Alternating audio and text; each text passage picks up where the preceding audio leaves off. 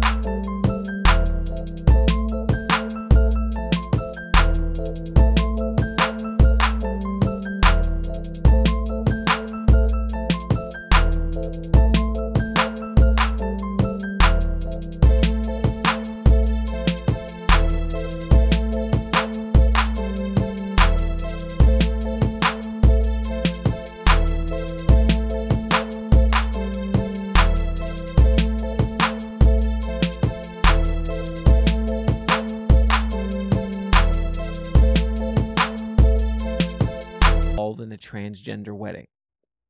And so she reached out to the pastor and saying that she's not sure what she should do. Uh, how can she support her grandson? Um, you know, being in a being a part of a transgender wedding. Like, should she attend? Should she not attend?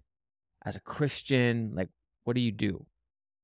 If you're watching this or listening to this and you're a Christian, well, I think the default response should automatically be probably shouldn't attend. Probably not a good idea, even though it is your grandson. To me, that should have been his response, you know, in in a loving way, saying, "I'm sorry, miss. Um, it's a difficult situation. It's your grandson, but you know we have to abide by the Bible. What does the Bible say? Therefore, probably you can't go." That's what you would have thought. But his response is what just sh- sent shockwaves throughout Christendom. And this guy is a well known uh, pastor in the Reformed theological circles as well. And the advice that he gave was this Does, does your grandson know that you're not okay with it? And she was like, Yes. Does he know that the Bible doesn't condone it? And she said, Yes. Well, he said, as long as those things have been established and to keep the peace, to not burn bridges, that she should go to her grandson's transgender wedding. And not only that, but buy them a gift as well. This was the counsel from a well known pastor who's been pastoring for decades to this woman. And that clip went viral.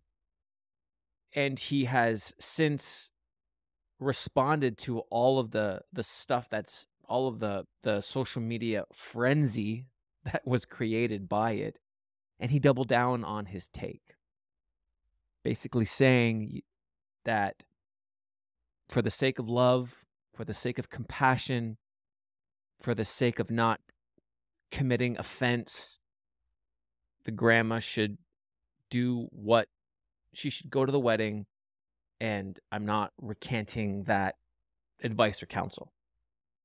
So, this is then what led me to obviously making this video because I'm not just going to deal with what he said.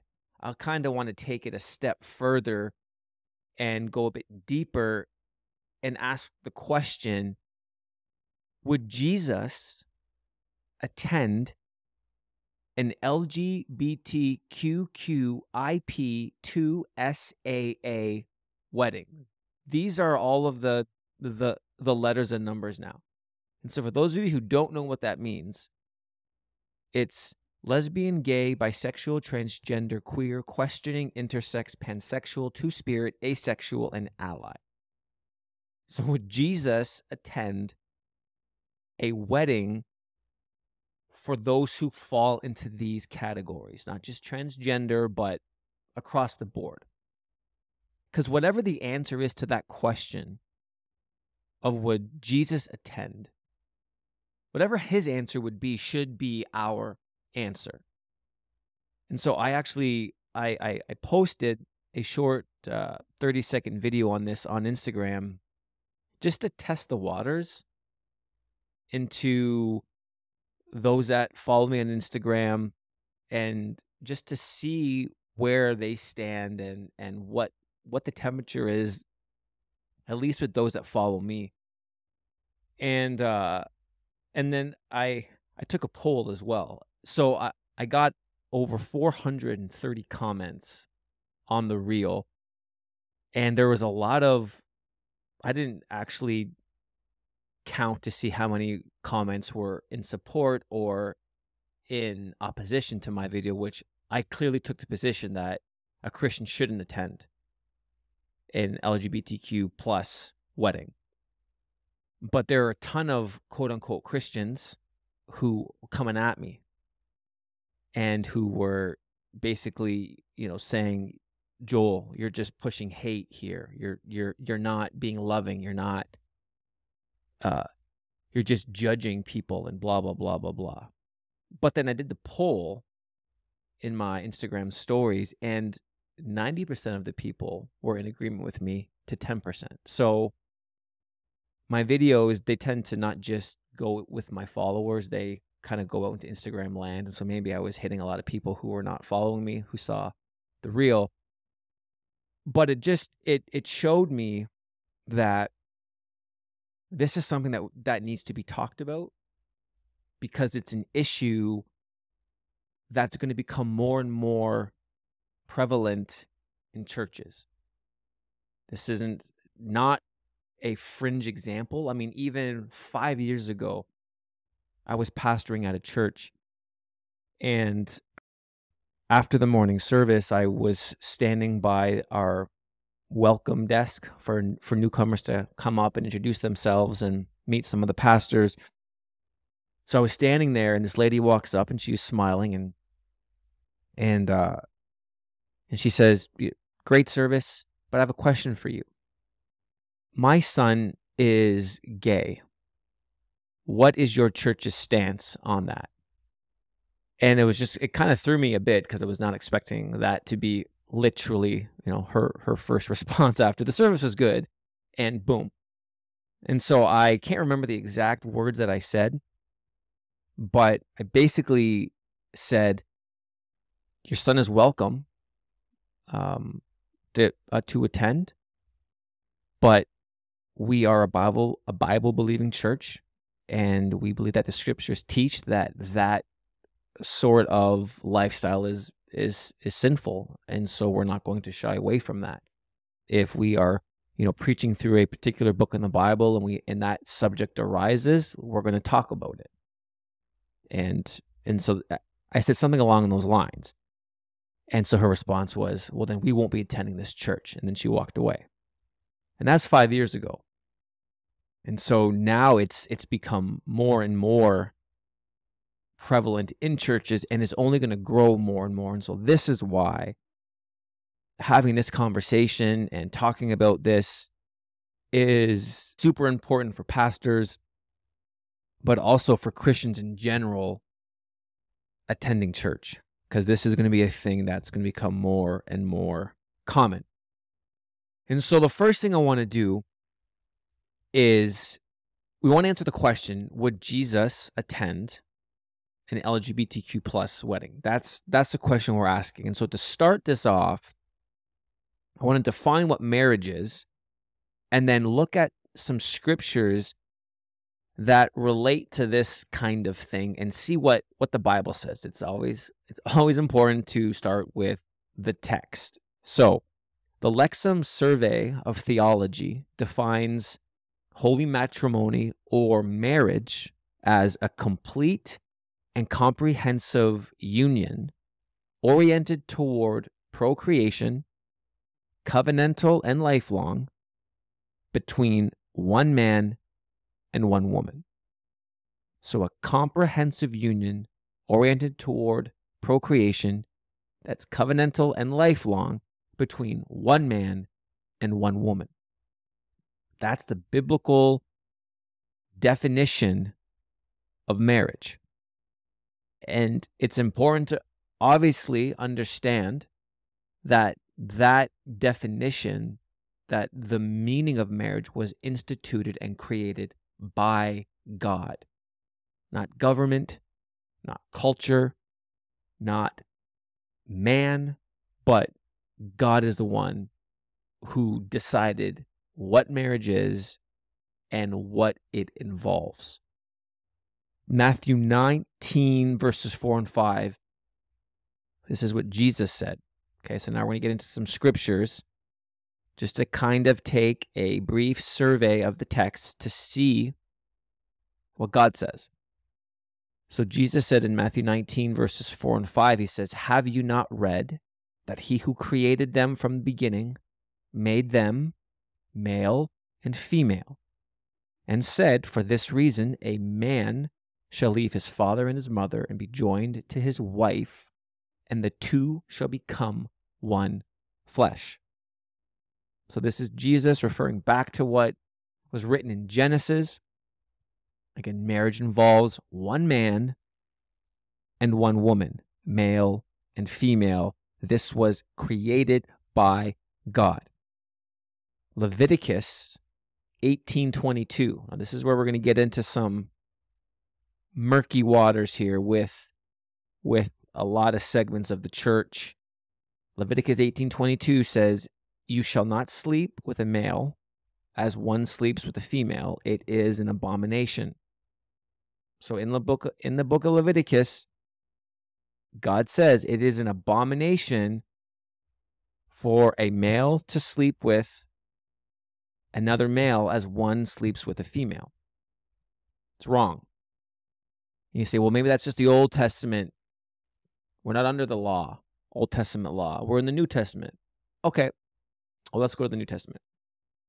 Romans chapter 1, verses 24 to 27 says this It says, Therefore, God gave them up to vile impurity and the lusts of their hearts, so that their bodies would be dishonored among them.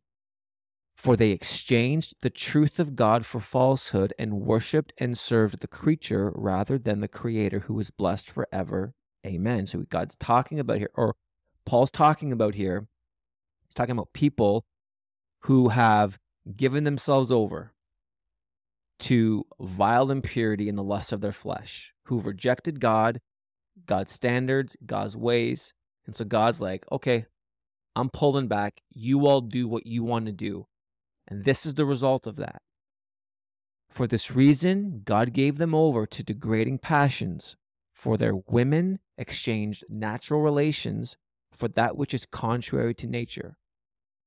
And likewise, the men too abandoned natural relations with women and burned in their desire toward one another, males with males, committing shameful acts and receiving in their own persons the due penalty of their error. So here Paul is he's he's stating that the result of rejecting God, of rejecting his ways, of not acknowledging him as the creator and Lord of the universe, turning your back, the result of then God saying, I'm I'm giving you over.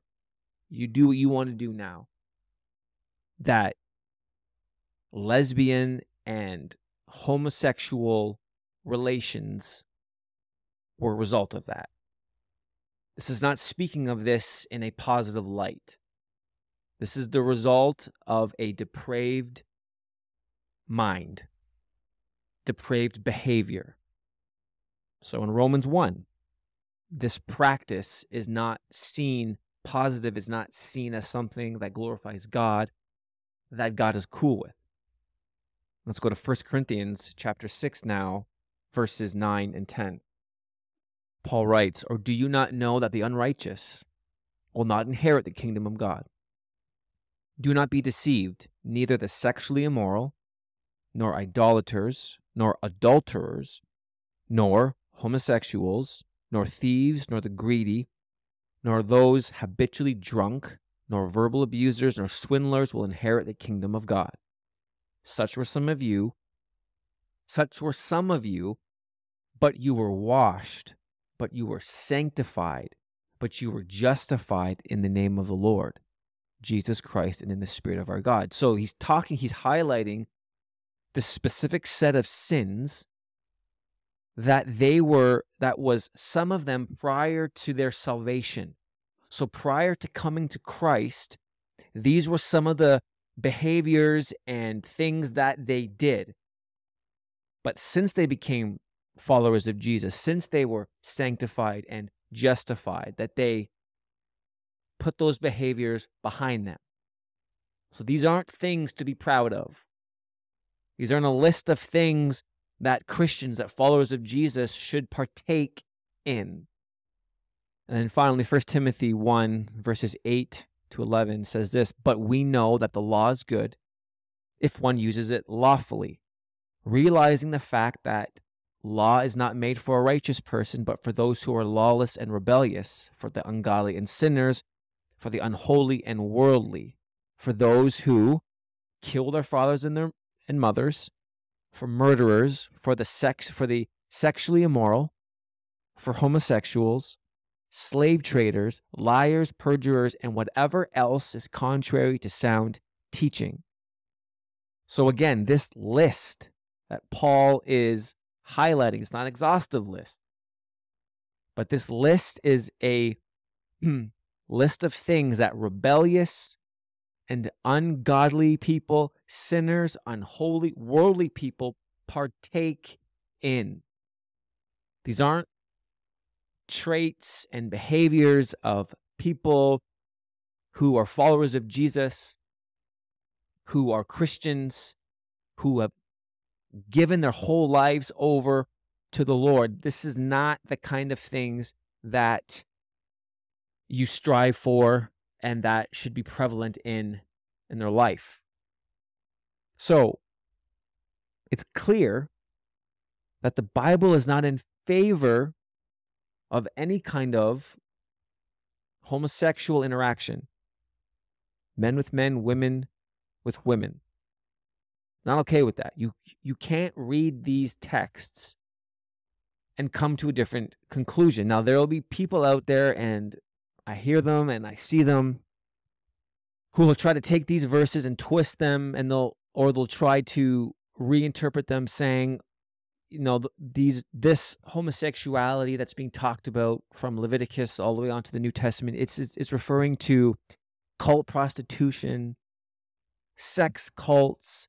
It's not referring to monogamous homosexual relationships you know one one man with with one man, one woman with one woman. This is it's not speaking of that. Guys, this is that that that's utter nonsense. That is a poor attempt at trying to change the text to fit a particular lifestyle, a particular sin. It's an attempt to try to to manipulate the text to have it say what you want it to say. The text does not say that. And for thousands of years was not interpreted any other way. It's only in recent times that there's been an attempt made at trying to change what the Bible clearly has taught. Now, in terms of the other parts, right, of the LGBTQ, so of the LGBTQ plus the transgender, the asexual, pansexual, all of that, the Bible doesn't specifically list each one of those. And so some will try to say, well, the Bible doesn't talk about those things, so maybe that's okay. Guys, they all fall under the same umbrella because it violates the standard that God has already set. So if marriage is between one man and one woman, then clearly transgender relationships don't make the cut here. Asexual relationships, pansexual relationships. I mean, a lot of these things, I don't even know. I don't even know what they mean. But regardless, all of that falls under that umbrella of things that violate the standard that God has set. One man, one woman, lifelong covenant. That's it. So, all this other stuff, this other sexual orientation and identification that gets created, is all false and violates what God has clearly defined in His Word. And then anything else that gets created as we, because these letters just keep going. As long as it violates what God has clearly lined out in Scripture, it's false. It's not godly. God is not cool with it. So then, in light of what we just read, what do you all think? Would Jesus attend a wedding for those in the LGBTQ plus categories? Seriously, think about it. In light of what we just read, and those verses, again, it's, it's, it's not even exhaustive. There are more scriptures that speak to the same things here. I just did a quick survey with the main, the more popular verses, the more well known verses. Would Jesus attend a wedding involving people in those who identify in those ways? I don't know how you can read those texts and other than butchering them and twisting them and making them say what they don't say, you could come to the conclusion where it's a no. Like, I don't know how you do that. So I don't think Jesus would go.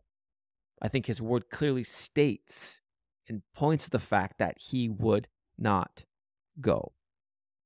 So then, why has this become such a massive issue in our culture? and in particular in the church. If I'm suggesting that it is super simple and super easy to to decipher what God is saying, then then then why has it become such a massive issue? Why is it such a big deal that a well-known pastor gave this advice to a grandma? Why why has that gone viral? Does he not know what the text says? He's been in ministry for decades, preaching the Bible. He is from the Reformed theological perspective. So these guys are heavy in their theology and their doctrine. And what about all these other pastors and quote unquote Christians that have become progressive in their theology? Do they not know what the text says? What is the disconnect here? Where is the confusion coming in? Why is this why is this an issue? And so I believe that that the confusion comes in, or at least one of the main reasons why the there's been such a mass confusion coming into the church is because of a gross misunderstanding and misuse of the term love. If there's a word that has become twisted and manipulated and literally hijacked by the devil himself, it's the word love. And the fact is, through his inspiration and his influence, our culture has defined the word love to basically mean unconditional acceptance and approval. That's what it means. To love someone in our culture today means that you unequivocally, unconditionally approve and accept anyone and whatever choices and beliefs that they have with no room to offer feedback, critique, no room to question. It's just un- unconditional approval and acceptance. That's what it means to be loving, to show love, to walk in love. Just to allow someone to be whoever they are, do whatever they want to do, and not have the space to question that, to challenge, to disagree. Because if you do, then what happens? And I've been called all of these things that I'm flowing with hate. You're someone who flows with hate. If you don't follow that belief, you're a bigot and you're judgmental and you're not practicing love. So that's where we're at in our culture when it comes to love. And so it's one thing for secular society to embrace this view of love. That I understand. That's that's just where things have gone. Our culture preaches that. They live that. But it's a completely different thing when this kind of teaching and belief of love makes its way into the church.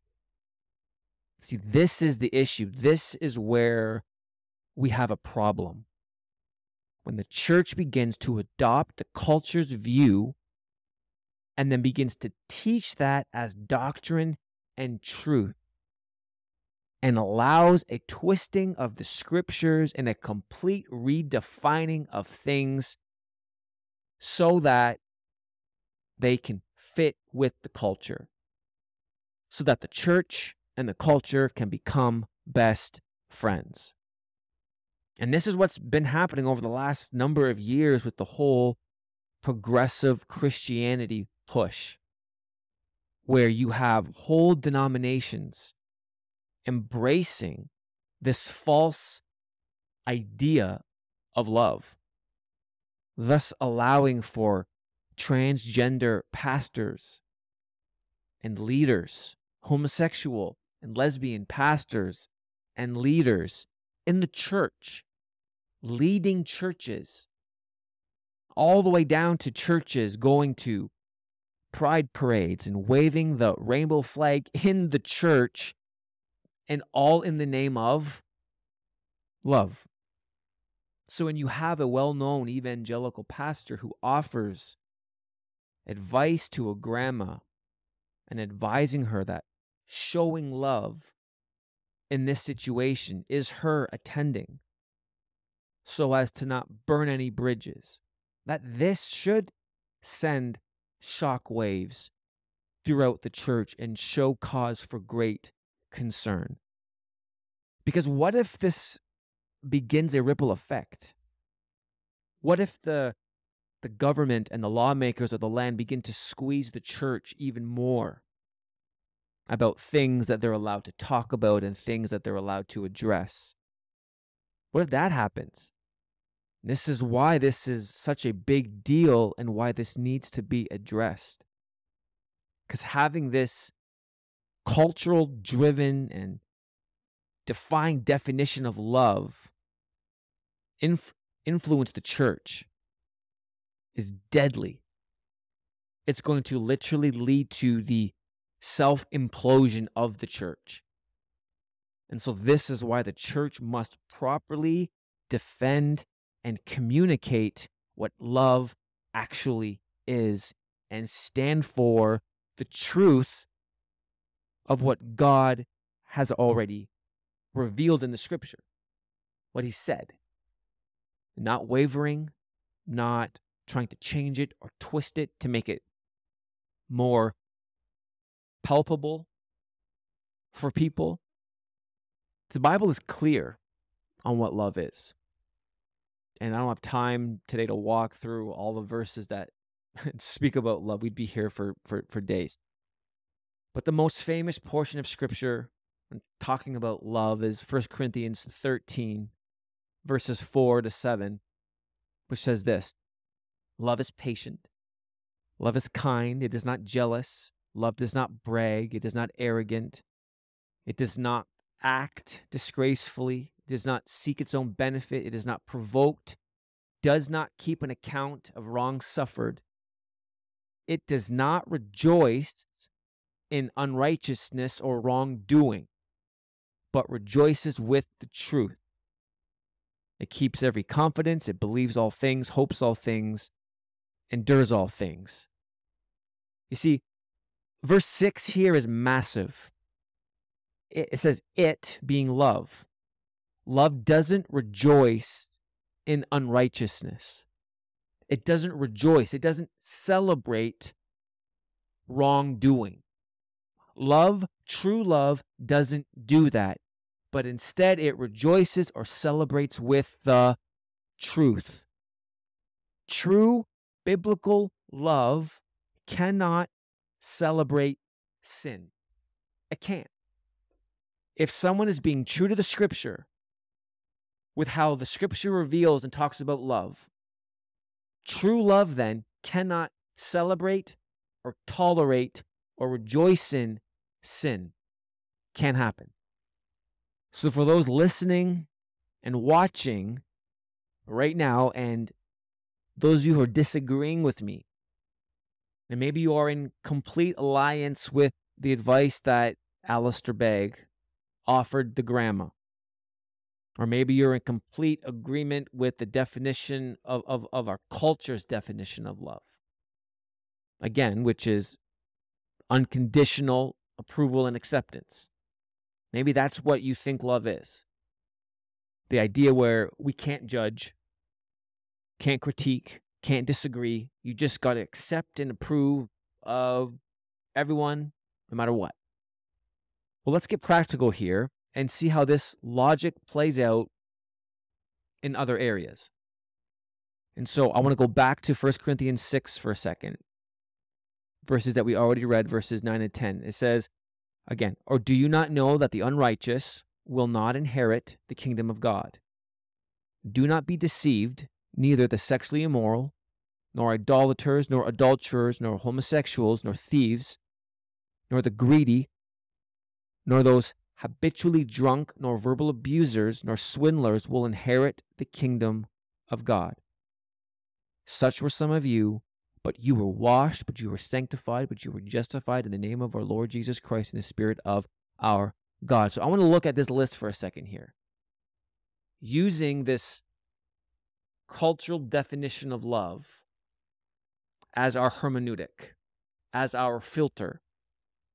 So let's just say, and I'm speaking to Christians right now, those of you who are listening or watching and you call yourself a Christian, a believer and who Jesus is and what he's done, and you're disagreeing with me right now.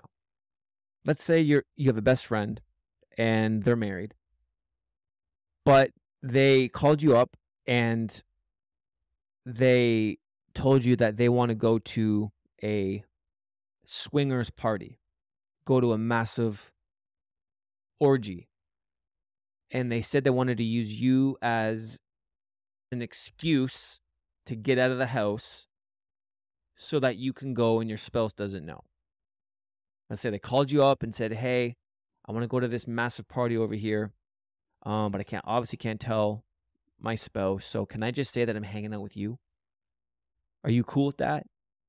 And then can you drive me there, drop me off, and then pick me up when it's done? What would you say? Would you simply say, you know what? You know what? I I think this is wrong. I don't agree with this. I don't condone it. The Bible doesn't condone it, but you know what? I I want to be loving here. So, yes, you can use me as as your as your excuse. I will gladly do that. Would you actually do that? Of course not. Another example.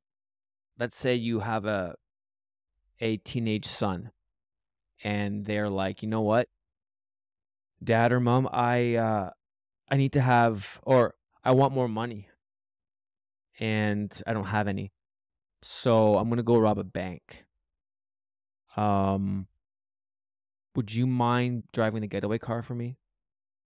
Now, would you tell your kid, you know what? I that's wrong. Like you shouldn't do that. I'm not condoning it. Um but you know what? I want to be loving right now. So I'm not condoning it, but you know what? Yes, I will I'll drive the getaway car. Clearly you wouldn't do that. Third example, let's say you have a friend who is an alcoholic and they are asking you to go and buy them a whole bunch of booze. Let's say they have no money and they're asking you to go buy them a whole bunch of booze, knowing that they're going to just get plastered. Would you go buy them the booze? Would you support their alcoholism?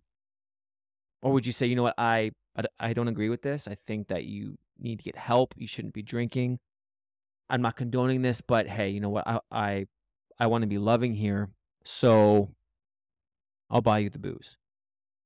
Clearly, you wouldn't do that. And I could walk through this list, and the answer would be no to each situation, but except when we get to the matters of LGBTQ, it's like we change. We flip the script. We change how we interpret how we view it. And we play that love card and we get sucked into this cultural mindset of the word love. We we don't use that for anything else, but this we do. True Bible study, real Bible study says you can't just pick and choose how you want to define things. The text says what it says. You don't get to pick and choose things that you want to obey, things that you agree with, and then other things that you don't. That's not how this works. So, no, Christians should not go to these kinds of weddings. No matter if it's your kid, because I had people, Joel, I certainly, I wish that your kid grows up gay so that you're put in this situation. I hope your kid becomes gay. This is what people say. I think, uh, doesn't matter if it's your kid, family, close friend. If it was my son, my daughter, I promise you 100% I wouldn't. I I love them. I would tell them I love them, but I would not go to that wedding.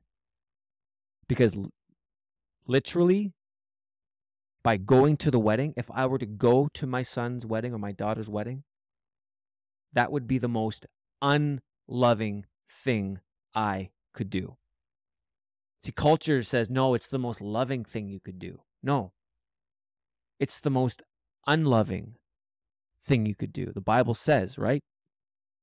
Don't rejoice in unrighteousness. That's not love. Celebrating in sin, celebrating in someone else's sin is not love. It's not love. But you're saying that you don't approve of it. You're saying that, you know, you don't agree with it and they know that. You're so you're you're just you're just being supportive.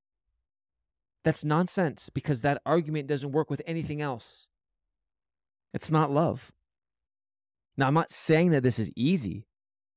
I'm not saying that it it doesn't come with consequence. Doesn't come with difficulty. But at the end of the day, we have to follow what Jesus says.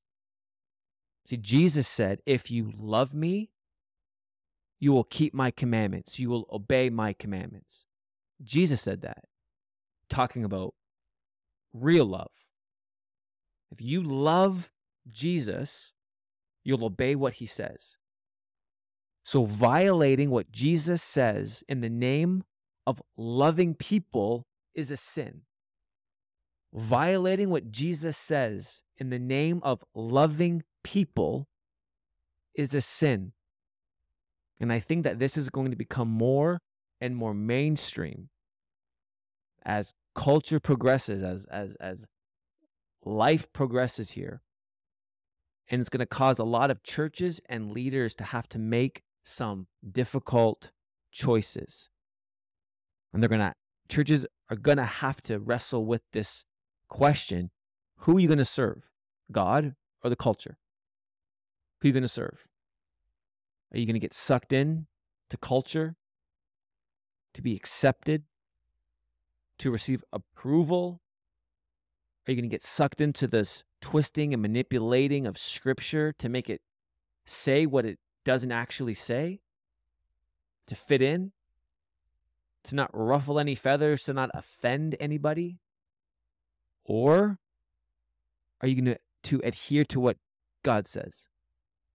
I'm talking in a very harsh tone here on purpose because this is such a massive and important situation here because the life of the church, the relevance of the church, the significance of the church, this is what's at stake.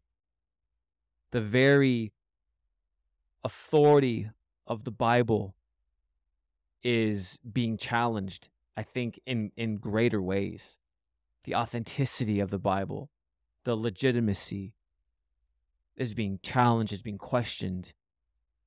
This is a big deal and this question just highlights that that fact and it's going to put a lot of people a lot of christians a lot of leaders in difficult situations challenging situations and there may be consequences and this is not new in terms of the church suffering for standing up for what God has said. I mean, look at the early church us here in North America, we haven't suffered persecution. We have no idea what that means. The rest the rest of the world laughs, I think, at the things that us here in the West deal with in terms of our church. Like right now, Christians are dying every day, dying for their faith. And our big thing is you know, standing up for what the Bible says to this minority segment of people. This is this is our persecution. Like it doesn't even compare. But this is just the beginning or potentially the beginning of where government lawmakers could start squeezing more and more, ramping up more and more. And then the church is going to have to make some choices. Are you going to cave or are you're not going to cave? And so that's why this is this is a big deal. And so no. Again, I don't think Jesus would attend such a wedding. Uh, I think Jesus would. Now, I'm not saying that Jesus would not hang out with, be friends with those in the LGBTQ plus community. The Bible is very clear. He hung out with the tax collectors, the sinners, the prostitutes, the outsiders. He hung out with them, yes. But hanging out is different than celebrating their sin. There's a difference there. That's what we have to understand as Christians. That when it comes to there there is a line that needs to be drawn in the sand that you won't step over.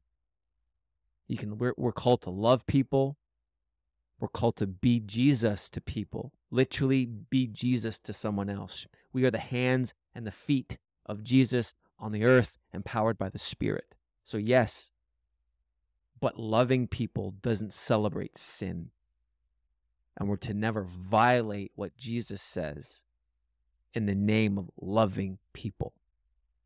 We got to take God's word for what it says and then trust that He can do what only He can do in the lives of those in our life.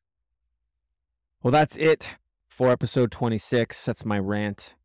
Um, yeah, I hope that made sense. Uh, if you, I'd love to hear your feedback and your comments about this episode. So if you're watching this on YouTube, feel free to leave them in the description below. Um, you can email me. My email will be in the description below as well. I just I encourage I encourage you all. If you're watching this, you're Christians, stand firm. Stand firm in the faith. Don't waver. Um, bring your bring your concerns, bring your questions, bring them to God. Bring them to Jesus. Um, and ask him for strength to just to live this stuff out because it's it's not going to get any easier. And so, thanks so much for watching, for listening, and uh, have an awesome rest of your day or evening.